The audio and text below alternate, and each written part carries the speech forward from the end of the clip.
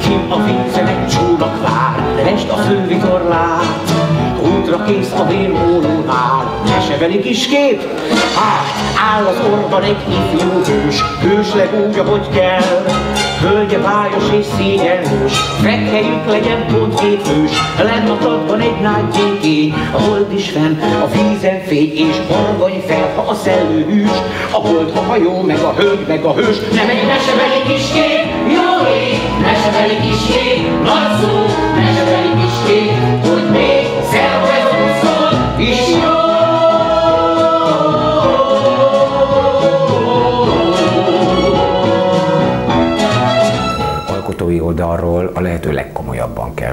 kérdésfeltevéseket, a helyzeteket, a bonyodalmat, a, a dolgok eredőjén, mélyén lévő, gyökében lévő valós problémákat is, ha azt még komolyan vesszük, mint a cirkuszban a bohóc.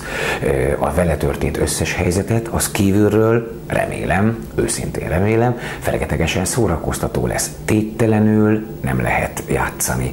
Ö, ö, szabályok nélkül nem lehet, ö, hogy mondjam, nyerni, hiszen azoknak a betartásával, azok között a határok között tudunk mi a lehető legnagyobb szabadsággal dolgozni. Tehát én azt gondolom, hogy nekünk komolyan véve a problémát kell majd nagyon nagy vidámságot okozni. Persze mi se halljunk bele, hiszen azért azt meg kell vallani, hogy egy idő után ezek a dolgok az alkotókat is szórakoztatják. Élő zenekar, az állokban, Silló Pisti vezetésével, táncos lányok vannak, kollégák, egyszerre tömegjelenetek is vannak, amikor ben vagyunk, nagy közösség vagyunk, és természetesen miközben minden komolyan van véve, azért nem kell ebbe belehalni. Mentálisan, fizikálisan mindenki igyekszik a maximumot nyújtani, de azért valljuk be, egy idő után ezt mi is nagyon élvezzük.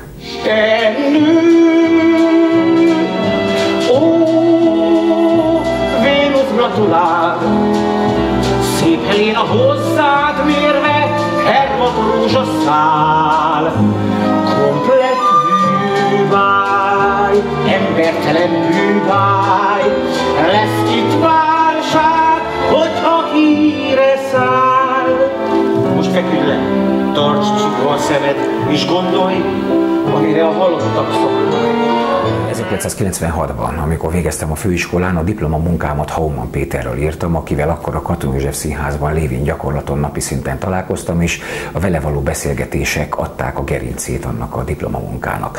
Ő mondta, és ezt, hogy copyrightoljam tőle, ezt a kifejezést, hogy a kötelező szolgálati út, amit egy színésznek a szerepépítkezés kapcsán be kell járnia, az műfajtól függetlenül ugyanaz. Ha az embernek papírja van róla, hogy ezt csinálja, a kutya kötelessége a legmélyebb bugyrokig leásni, és a, a lehető legszélesebb módon kipróbálni, hiszen a próbát azért hívjuk próbának és nem késznek, kipróbálni a lehető legmarkánsabb, legszerteágazóbb, legszélesebb amplitúdójú dolgokat, hogy a rosszat, mire közönség elé kerülünk, biztosan ki tudjuk zárni. Tehát az, hogy drámában komédiában, esetlegesen zenés műfajban, azon belül is operetben, musicalben, társalgási végjátékban, valamilyen ilyesfajta vásári végjátékban, parabolában mi történik az emberrel, az a próba folyamat során nekem belülről, ugye mint alkotónak, ugyanazon az íven való építkezést jelenti. Maximum természetesen a, a rendezők, illetve az igazgató szempontjából lehet egy olyasfajta dolog, hogy a szereposztásnál nem mindegy, hogy az embert hogy ismerték meg, és milyen fajta dologgal, hogy mondjam, milyen bizalommal tisztelik meg, mit néznek ki belőle, hogy ő azt a bizalmat meg tudja szolgálni, mit néznek ki belőle, milyen végleteket, milyen, milyen, milyen egyéb más, mondjuk addig nem látott megoldásokat látnak ők bele. Amely bizalmat az ember ugye igyekszik megszolgálni, hogy az előbb mondtam. Én azt szeretem, hogyha egy évadon belül, és ez a társulati lét lényege valahol, és ez itt most a táliában úgy tűnik, hogy jól működik, remek kollégák egyszerre találhatják magukat egy évadon belül mellék és főszereplői helyzetben, végjátékban és tragédiában, vásári komédiában és musicalben, mert ez a fajta vetésforgó az, hogy mindenki azt érezze, hogy részként az egészben ö, egy igazi nagy tébetűs társulat része. Én most itt a, a táliában ö, így érzem magam. Orvéumban teljes körű garancia van amit látni fogsz, legmagasabb igényeiddel találkozik, és kétségkívül vásárlásra ösztönöz. Íme, kutatómunkák, hamvas gyümölcsei. Tintina Bula! Lukusz szerepére úgy tudom nincs instrukció, hogy hogy nézzen ki lehet, hogy egy másik előadásból jött az ötlet, de a rendező kifejezett kérése volt, hogy mindenképpen változtassam meg magam, és eddigi közös munkánk a Boeing-Boeing leszállás Párizsban Sármőr szép fiúja, aki aztán majd a seggére esik, annak a másik oldalát csinálják meg, egy rendkívül csúnya, rosszfogú, púpos, kopasz embert szeretne tőlem látni. Azt hiszem, hogy ez sikerült is három porckorongssérvel tulajdonképpen elég elég ijesztő 90 fokban járkálni a színpadon, főleg a próba folyamatra volt ez komoly hatással, legalábbis a gerincemre, de az előadásban olyan bruttó 15-20 percet lehetek a színpadon, tehát ez bőségesen elviselem nagyon kell figyelni az olyan szerepeknél, pályám elején belecsúsztam egyszer egy filmnél abba, hogyha nagyon megváltoztatom a külsőt, akkor hajlamos vele menni az ember lelke is, illetve a illetve az a rajzfilmszerűsége a játékának, amit teljesen hiteltelen lesz a figura. Ilyenkor nagyon kell figyelni arra, hogy csak a külső változik, és belül ugyanolyannak kell maradni, mert az már sok lenne, hogyha belül is változtatnánk. Úgyhogy itt nagyon határozott külső jegyek vannak, amit majd látnak is gondolom a bevágásból a kedves nézők. Egy pillanatra sem az egész pályámra jellemző ez különben nem szeretek vicceskedni, csak figura azonos lenni, és azon belül, hogyha, hogyha nevetnek az emberek, akkor, akkor boldog vagyok, mert úgy nem nagyon szeretem letolni a gatyámat. Azt hiszem, hogy ez most már az utóbbi tíz évre jellemző, bár biztos megkérdőjelezett mások.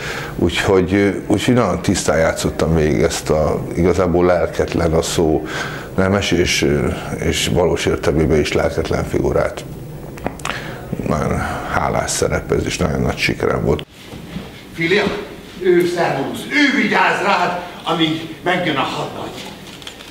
Nem sokára. Ő az örök hálám le vagyok kötelezve. Ha nem tetszett a választék, szerzek neked prémiőrán. Elővásárlási jogod van, hiszen igaz barát vagy. Szervusz. Te pedig, Lukusz, igaz, strici. A poénos jeleneteknél egyszer Bajor Imre Isten nyugosztalja mondta, hogy lenézzétek ezt, amit én csinálok, de higgyétek el, ez a legnehezebb. Amíg nem találkoztam ezzel a műfajjal, hát ha nem is lenéztem. Nem vette fel a portját, kérem szépen föl. Nem is lenéztem, de úgy nem foglalkoztam vele. Nagyon, nagyon nehéz poénosnak lenni, ugyanis meg vannak írva ezek a poénok, és pláne ebben a színházban Hamvai Kornél kitűnő fordításai nem nagyon adnak időt a színésznek arra, hogyha hibázott egyszer, akkor utána legyen egy kis szabad ideje, fölfogni azt, vagy kijavítani magát, vagy ha nagyon bejött egy poén, akkor hogy ne nagyon ünnepeltesse magát a lelkén belül, hiszen poén poénra jön. Ezek, ezeknél a daraboknál nagyon fontos, hogy nem lehet csak üresen ritmusra poénkodni, mert az kevés, azt megkapják máshol is az emberek. Nagyon fontos a, a lélek hozzá, tehát hogy azok igazi tragédiák. A poén az mindig, mindig tragédiából, mindig öniróniából, nálam legalábbis öniróniából épül föl, de hogy ugye nagy közhely végjátékot csak úgy lehet játszani, hogy dráma is fordítva. Tehát tulajdonképpen olyan képességeket követel a poénos színjátszás, mind ritmusérzék, zeneiség, pontosság szempontjából, ami, ami, szak, ami a szakma, viszont hogyha nincs megtámasztva ez igazsággal, belső igazsággal, akkor kutyakomédia az egész. Úgyhogy nehezebb ilyen értelemben játszani, de mindenképpen hálásabb, mint komoly darabot. A nő! A nő, a nő, most add belém a nő, a oldalamra hadd csatom belőtt. Egy bó, egy csó, és gázszintuló, aztán népet írtok, jobban a csincsak, gáz és tekroló. Mi csak akar, mindig célba talál, itt a félre áll. A nő, a nő, most add is áll a nő, hogy hagyjuk végre hamar az esküvőt. Ne társ, a szár, hát lássuk mindig imád, aztán már palomdik, ördoronyék és dől a barrikád. Micsoda szép, micsoda kész, az evolúció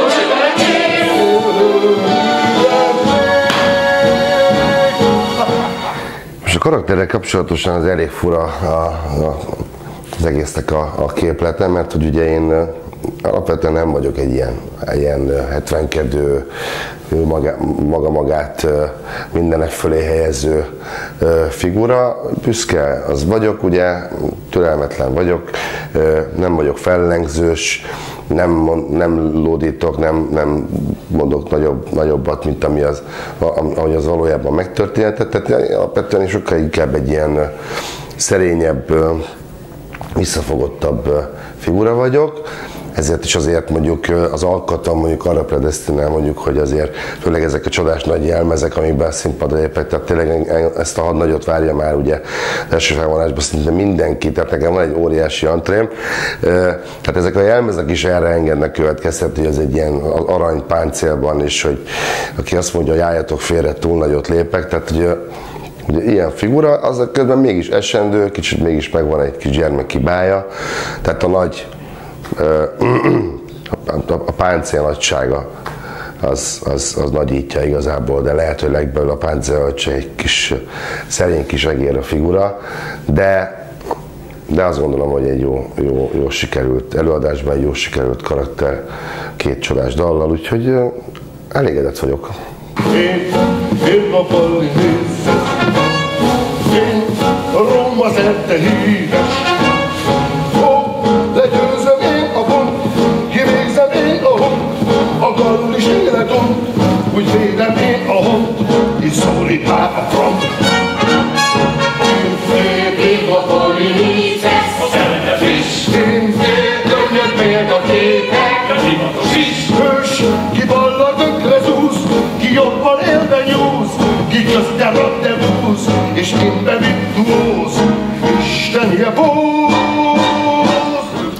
Ugye tudólevőleg én inkább drámai színész vagyok, és bár nagyon furán hangzik, de sokan a filmekből, vagy a tévés szórakoztató műsorokból úgy ismernek, hogy én egy vicces karakter vagyok, de ami, amit, amit kevesen tudnak rólam, az mégiscsak ez, hogy én egy, egy sőt, nem is egy színházi előadásban játszom még a mai napig egyáltalán nem vicces szerepeket.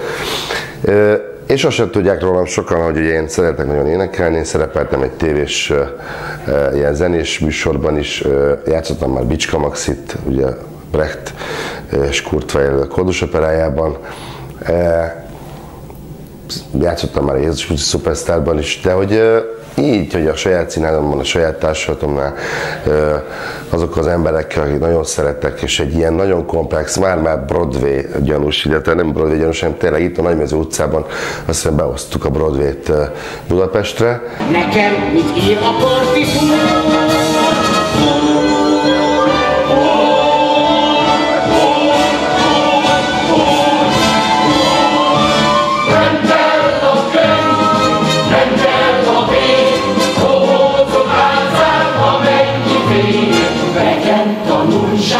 Muszáj tanulság, ahhoz, hogy érd a csézió. Ma nincs tanulság, gyerünk a szavunk, rögünk, gyerünk, haladunk, pirunk, pirunk, pirunk, gyerünk. Egy jó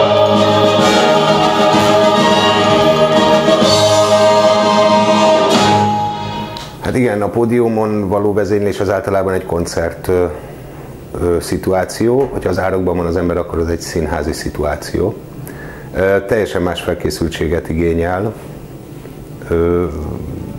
Ugye a, a lényeges különbség, hogy egy koncerthelyszínen a zenekar az esetek nagyon nagy többségében istenien hallja egymást. Tehát a kanasternek csak egy, egy kevés vezető szerepe, egy szuggesztív szerepe van, de, de nagyon összetartani egy optimális helyzetben egy jó zenekart nem kell.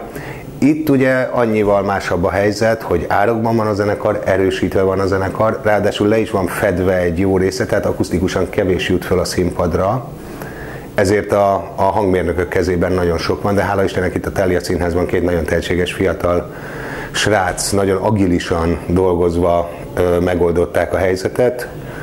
Tehát összefoglalva egy komplexebb feladat egy árukban egy előadást elvezényelni, mint egy koncertpódiumon egy koncertet. Nagyon fontos együtt élni a darabban. Tehát előadásról előadásra nem lehet megszokásból vezényelni, nem lehet azt, hogy én tudom a darabot, és amikor közeledik a végszó, akkor elkezdek figyelni, és aztán utána beintem a következő zenét, mert föl kell tudni venni az előadás tempóját, a prózai áltek tempóját is, és bizony meg lehet segíteni az egész előadás tempóját egy jól, jól megválasztott tempóval egy számban, mert az utána tovább löki, mint egy trambulin a következő jelenetet, illetve be is lehet lassítani az egész előadást, de ez nem annyira szerencsés. Hát ez egy fogas kérdés, hogy különböző műfajokat hogy, hogy kell vezényelni. Én mindig úgy állok neki, hogy éppen az a legjobb zenemű számomra, amit fogok csinálni, függetlenül attól, hogy, hogy a, a, a komédiából, a musicalekből, a musical comedyből, vagy akár az operából jön, az út és a hozzáállás az mindig ugyanaz, tehát nagyon komolyan kell venni a dolgot, nagyon meg kell tanulni, nem árt, hogyha az embernek van stílus ismerete, de annál hát ha nem is fontosabb, de ugyanolyan fontos, hogy, hogy, hogy olyan zenekarral kell dolgozni, akik az, azt a stílust, amiben az adott darabban, azt anyanyelvi szinten beszélik. Itt ugye főként az Operett Színház zenekara van, akik musicalt is játszanak, operettet is játszanak, játszanak big band zenéket, játszanak pop, pop musicaleket, úgyhogy ebben a könnyebb részében a színházi világnak, már ez idézőjelben mondom, mert Zondheim zenéje az mindig bitang nehéz, de ők ebben tökéletesen otthon vannak, úgyhogy stilisztikai problémát nem okoz. A társulat!